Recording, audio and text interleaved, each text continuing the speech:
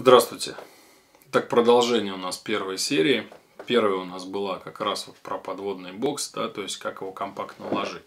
Сегодня продолжение именно про армы, которые существуют у нас сегодня. Так, передо мной все четыре типа размера армов, которые у нас есть. Я их покажу по отдельности, да, чтобы вам было понятно. Вот это самый коротенький арм. А, значит, опять же, по классификации. Армы существуют по размерам. Да, то есть вот это 150 миллиметров арм. Или есть еще дюймовое обозначение, да, то есть это 7, 7, по-моему 7. По классификации это 150 миллиметровый арм, то есть самый короткий, но он тоже, то есть это линейка с положительной плавучестью. У этих армов самая минимальная положительная плавучесть, ну понятно, да, потому что у него минимальный объем воздуха, который заключен внутри этой трубки. Следующий тип по размеру это у нас 210 арм. Вот так вот они отличаются по длине примерно, да, чтобы вам было видно. Давайте вот сюда вот я сюда покажу, чтобы им было видно. То есть у него больше положительная плавучесть. Дальше следующий арм это у нас 280, то есть также он отличается от 100 от 210, да, то есть почти 30 сантиметров. Есть самый длинный, да, то есть это 350 миллиметровый.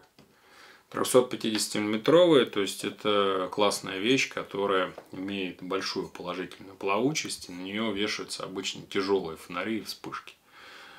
Это не компенсационный арм, то есть есть армы, которые вот такого вот 60 диаметра, которые э, идут как компенсаторы плавучести. Нет.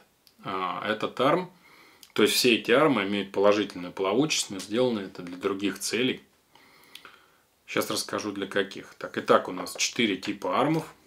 150, 210, 280 и 350. К этому же комплекту который вы выбрали, да, то есть у нас в комплекте, сейчас расскажу, да, то есть в комплекте у нас а, существует либо, то есть всего 4 арма, да, то есть вариаций может быть масса. Вариаций может быть 150 и 2, 2 280, раз вариация. Вторая вариация 150 и 2 210. У меня, к сожалению, один, но два. Вариация 3, 2 210 2 280. Вариация 3. 4. Извиняюсь. 210, 350. Вариация 5.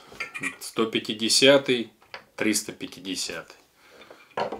Вариация 6. 280, 2 350. Такое множество, что можно компи... их как угодно между собой складывать, и у вас получится абсолютно разные вариации. Вплоть до того, что есть комплекты, которые складываются, допустим, из э, разных армов. Да? Допустим, здесь вот одна сторона у нас 150-210, вторая сторона 150-280. Такое тоже бывает, и люди иногда спрашивают. Да? То есть это крайне редко, но ну, такие вещи происходят. Обычно мы стараемся все-таки сделать симметрию. Но вариаций может быть абсолютная масса. Итак, к этим армам существуют специальные зажимы. То есть зажимы стандартные, которые у нас существуют. Еще в одном видео я расскажу, меня спрашивали, почему мы не делаем тройные зажимы. То есть здесь двойные, то есть для двух шариков. Есть еще существуют в природе тройные зажимы. Нас спрашивают, почему мы их не делаем. Я расскажу в другом видео, почему мы их не делаем. А в данном случае вот этот интересный зажим, он отличается от остальных, которые продаются в мире, двумя очень интересными функциями. Первая функция, он выполнен из алюминия. И выполнен таким образом, что вес вот этой штучки всего 53 грамма. Это, наверное, самый, один из самых легких алюминиевых зажимов, которые существуют в природе. Для чего он такой сделан легкий? А, поясню. То есть, когда вы складываете, у вас складывается а,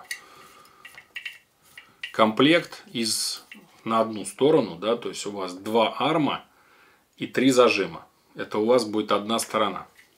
Соответственно, вы складываете вес двух армов, допустим, 280 и 150. И у вас еще вес трех зажимов. Вот это все висит у вас на одной стороне. При этом у вас весь этот вес под водой имеет плавучесть близкую к нейтральной. Что получается? То есть все мы любим комфортно плавать, комфортно снимать. Итак, подводный бокс вместе с установленным фотоаппаратом имеет у вас нейтральную плавучесть. Комплект армов и зажимов, которые у вас на два крыла, имеют нейтральную плавучесть. Комплект фонарей имеет тоже нейтральную плавучесть. Но, опять же говорюсь, комплект фонарей, который производит компания ВОЗ. Есть куча других фонарей, которые имеют отрицательную плавучесть. Итак, если вы собрали весь комплект полный ВОСовский, что у вас получается? То есть инженеры позаботились о том, что весь комплект у вас практически с нейтральной плавучестью. Может быть плюс-минус 40-50 грамм в зависимости от установленного порта и от установленной оптики. В этом и есть прелесть. На более больших моделях подводных боксов, которые являются профессиональными, там есть специальная система регулировки плавучести. То есть там вы можете от пресной воды до соленой воды, то есть регулировка составляет где-то полтора килограмма. Вы туда-сюда можете плясать. Эта система специально устанавливается на дно этого бокса. Бокс при этом имеет э, абсолютно... То есть вы можете там регулировать плавучесть и дифферент. То есть наклон вашего бокса. Вы можете снимать свой селфи, да, развернув этот бокс, он у вас будет рядом висеть.